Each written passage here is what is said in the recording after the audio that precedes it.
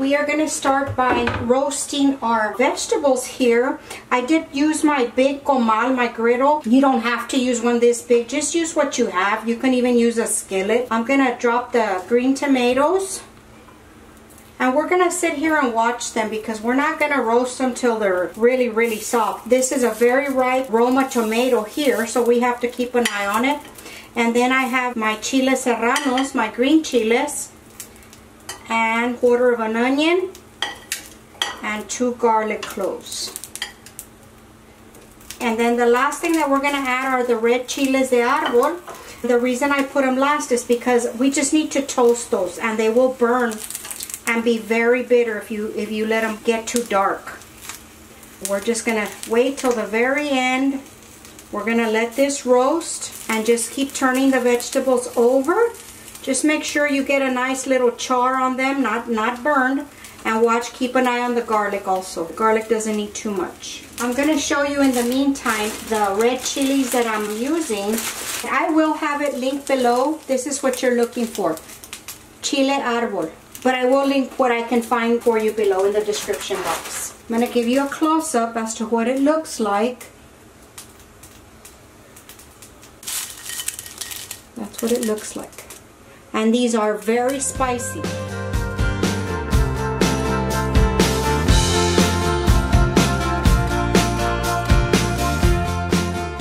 Okay guys, these garlics, as you can see there, those are ready. We don't want them any more than that. So I'm just going to take these out and put them on a plate and just keep rotating the other vegetables, okay? I just wanted to show you exactly how I start to turn them so that you're familiar with it. Okay, I'll be back. Guys, I'm back to remove the chile serranos. As you can see, they're nice and roasted, just like that. I don't want them overly charred.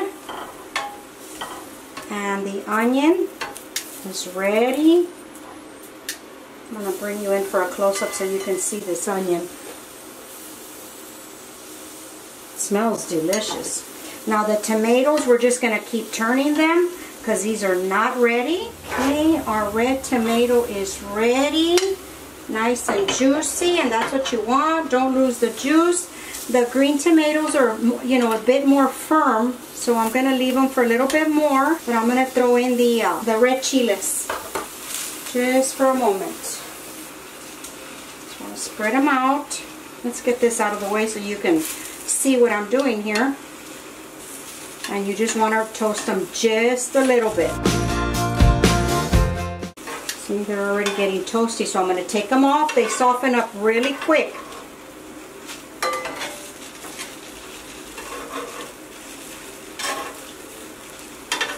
Okay, those are ready. See how quickly that toasted up? So I'll move these here and I'll leave them for a few more minutes. Okay, this is ready. We're going to transfer everything over and I'm going to switch all over to the counter and we'll start to blend these vegetables.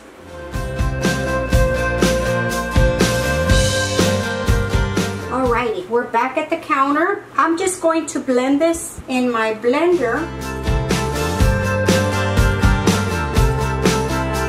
Green tomatoes, if you lose any liquid, you definitely want to use that.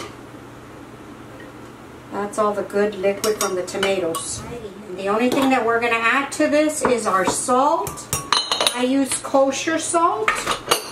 And we're going to add a few leaves of cilantro. Not too many because we're going to top this off with some cilantro leaves at the end. So on this blender, I have what they call a food chop or salsa button on it. And what it does, the only thing different is that it does is it pulses the, the liquid or food that you have in there. It doesn't continuously keep chopping it. So I actually like that feature very much. So I use that quite a bit if I'm not using my molcajete and doing it by hand. So we're just going to turn it on and hit that button, the salsa food chop.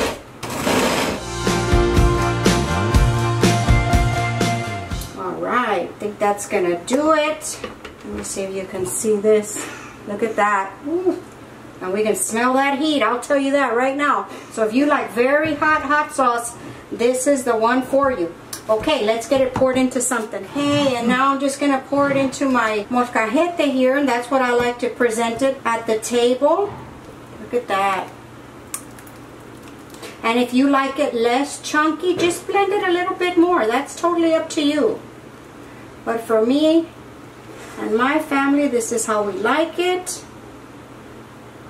Look at that. Ooh-wee. Okay, let's get this out of the way. Wow, look at this. And it smells delicious, guys. I hope you can see that. I'm going to try to bring you in for a close-up. Look at that.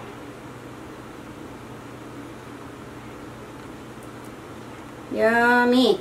Okay, now before ending this video, I want to show you a little trick. I'm sure a lot of you know it already, but in case you don't, I'm going to show you how I clean my blender real quick and in a hurry. Alrighty guys, this is what I do to my blender.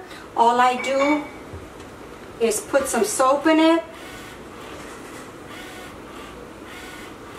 Okay, I got my automatic soap dispenser finally, and I love it. And I'm going to fill up the jug with water, almost to the top.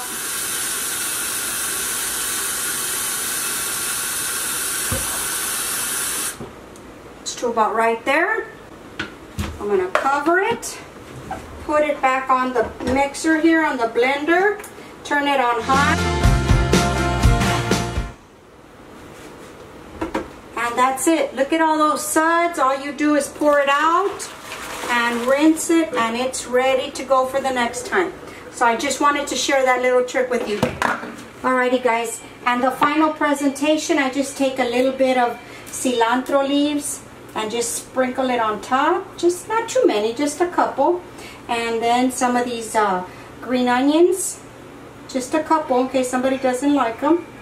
And that's it. It's ready to go. Alrighty everybody, that's going to conclude the video.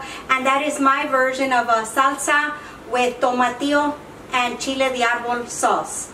I hope you enjoyed it. I will have the recipe down in the description bar below. If you have any questions, just leave me a comment. If you enjoyed the content, don't forget that big thumbs up means a lot, helps me a lot here on the channel. And follow us on Facebook and Instagram at Virtual Kitchen with Laura. Okay guys, I'll talk to y'all later. Bye.